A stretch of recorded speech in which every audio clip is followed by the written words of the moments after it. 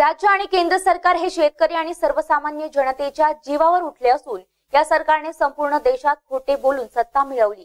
आणि आता पुन्हा ते आश्वासने देऊन सत्तेची स्वप्न पाहत आहे अशी टीका राष्ट्रवादीचे ज्येष्ठ नेते छगन भुजबळ यांनी केली आहे. ते दौंड येथील निर्धार परिवर्तन यात्रेदरम्यान बोलत होते. राष्ट्रवादी काँग्रेस पक्षाने भाजप विरोधात सुरू केलेली निर्धार परिवर्तन यात्रा आज दौंड तालुक्यातील यवत मध्ये धडकली. यावेळी कार्यकर्त्यांकडून त्यांचे उत्स्फूर्तपणे स्वागत करण्यात आले. परिवर्तन यात्रेनिमित्त घेण्यात आलेल्या जाहीर सभेमध्ये राज्याचे माजी उपमुख्यमंत्री छगन भुजबळ यांनी राज्य आणि केंद्र सरकारचा खरपूस समाचार घेतला. छगन भुजबळ यांनी मोदी आणि त्यांच्या कारभारावर चौफेर टीका करत मोदींची नक्कल केल्याने हास्याचे फव्वारे उडत होते.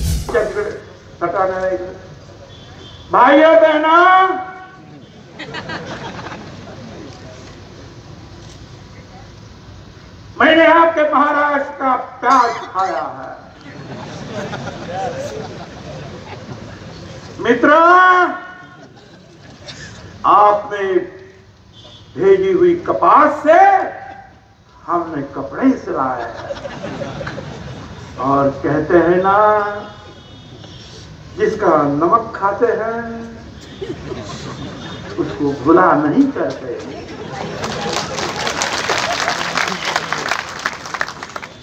ठहरो। हम सारे किसानों के उत्पादन के ऊपर किसानों को डेढ़ गुना पैसा देंगे। मित्रों किसानों को डेढ़ गुना पैसा मिलना चाहिए कि नहीं मिलना चाहिए? मैं आपसे पूछता हूँ मिलना चाहिए कि नहीं मिलना चाहिए? मिलना चाहिए पर ये तो कौन रे बाबा अरे देश में यावेळी जयंतराव पाटील अजित पवार धनंजय मुंडे सुप्रिया सुळे यांचीही भाषणं झाली. या भाषणांमध्ये सर्वच नेत्यांनी राज्य आणि केंद्र सरकारचा खरपूस समाचार घेतला. दौंडमध्ये घेण्यात आलेल्या या परिवर्तन निर्धार मेळाव्यामध्ये राष्ट्रवादीचे प्रदेशाध्यक्ष जयंत पाटील माजी उपमुख्यमंत्री अजित पवार ज्येष्ठ नेते छगन भुजबळ विधान परिषदेचे विरोधी पक्षनेते धनंजय मुंडे दिलीप वळसे पाटील खासदार सुप्रिया सुळे दौंडचे माजी आमदार रमेश थोरात हे उपस्थित होते.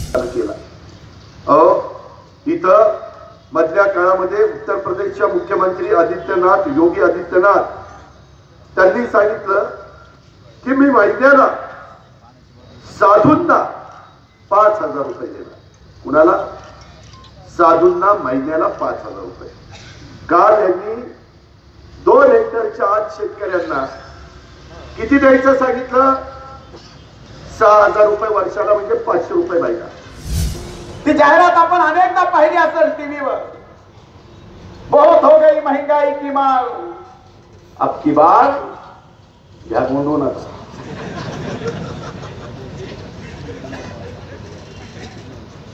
ज्या वेळेस या देशात पन्नास रुपये लिटरनी पेट्रोल मिळत होतं त्यावेळेस हे भारतीय जनता पार्टीचे बांधगुळ आपल्याला भोवत हो गई महंगाई म्हणत होते. ज्या वेळेस या देशात पावणे चार